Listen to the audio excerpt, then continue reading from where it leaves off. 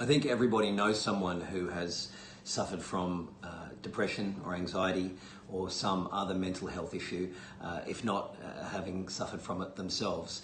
And uh, I think the one thing that we all need to do uh, is to make sure that the stigma that's attached to uh, these kinds of issues is is something that is a thing of the past. We don't treat physical ailments or afflictions with the kinds of stigmas we do with uh, anything involving mental health. And I think uh, moving forward, that's something we really need to change.